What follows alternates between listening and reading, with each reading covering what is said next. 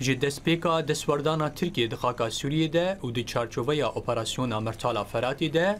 ev cara yekemîn e ku Wezareta Berevaniya Tirk encamên êrîşên xwe li ser çekdarên rêxistina DAIŞ'ê ya teror û endamên Hêzên Sûriya Demokratîk belav dike. Li ser vê mijarê doh roja pêncşemê Wezîrê Berevaniya Tirk Fikrî Îşik û di heyama gotara xwe de li Parlamentoya Tirkiyê eşkere kir ku artêşa Tirkiyê çar tank,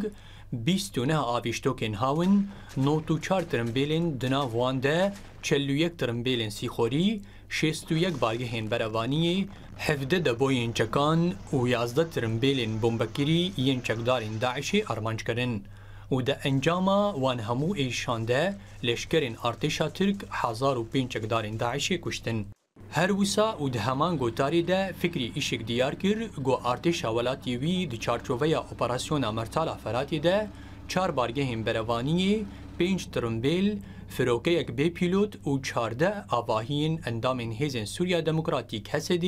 û Yekîneyên Parastina Gel, YPG, topbaran kirin û li gorî gotina Îşik, di wan êrîşan de dora du sed û nod û neh endamên her du grûpên navborî kuştin. Ji aliyekî din ve û di dema ku wezîrên berevaniya Tirk encamê êrîşên artêşa Tirkiyê li Sûriyê belav dike, û serkeftinên leşkerên welatê xwe eşkere dike, medyakarekî Kurd bi navê Yasir Ramadan ji malpera Ara News re diyar kir, got armanca destwerdana Tirkiyê di xaka Sûriyê de ne şerê DAIŞ'ê ye, lê belê armanca wê ew e da projeya rêveberê ya xweser li Sûriyê têk bibe. Her wisa û li gorî gotina Ramadan,